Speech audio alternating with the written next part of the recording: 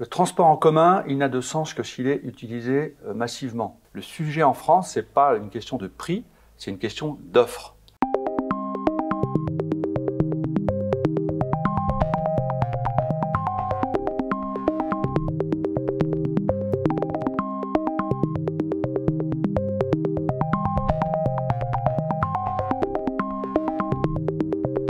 En 1975, l'usager finançait 70% des coûts d'exploitation du transport en commun. Aujourd'hui, c'est 25%. Aujourd'hui, en Ile-de-France, à peu près la moitié des kilomètres parcourus se font en transport en commun.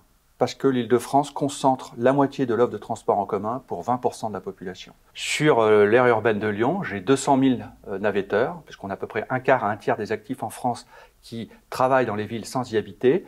J'ai 35 à 40 000 places dans les TER.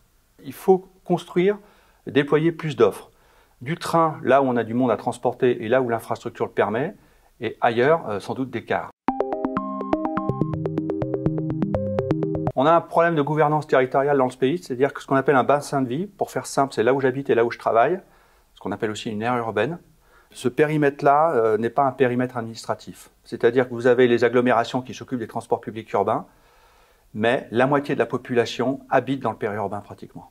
Ce qu'il faudrait, c'est qu'il y ait une coordination euh, région, métropole ou autre solution, que les régions prennent en charge tous les transports publics, c'est ce, que fait, ce qui se passe en Australie, ou alors il faudrait étendre le périmètre des métropoles. Aujourd'hui, donc, on est obligé d'avoir cette coopération, mais il faut avouer que c'est euh, c'est quand même pas optimal. 84% des jeunes disent vouloir posséder une voiture. 85% des ménages en France possèdent une voiture. Donc il n'y a absolument aucun écart, contrairement à, à ce qui est raconté sur le sujet entre euh, les jeunes et euh, la population euh, globale française. Pourquoi? Parce que la voiture, c'est l'autonomie. Et l'autonomie, c'est une valeur fondamentale pour les jeunes. On a un tropisme médiatique sur les mobilités qui est extrêmement urbain, pour ne pas dire parisien. Et donc, on pense que le monde ressemble à mon monde immédiat extérieur. Ben non. Ben non. Je rappelle, si 90% de la population est économiquement polarisée sur les villes, 50% habitent à la campagne. Pour comprendre les mobilités, il bah, faut faire évidemment des sciences de l'ingénieur, mais il faut faire aussi de l'économie. Il faut faire de la géographie. Ça, c'est indispensable. Ce qui est valable sur un territoire n'est pas valable partout. Il faut faire de l'histoire, il faut faire de la psychologie, il faut faire de la sociologie. Donc, moi, je dis aux jeunes, euh, c'est un sujet, vous commencez à tirer la pelote.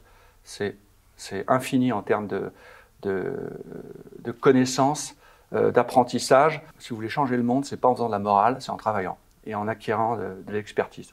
Donc, euh, voilà, bossez, c'est passionnant, venez travailler sur la mobilité, on vous attend.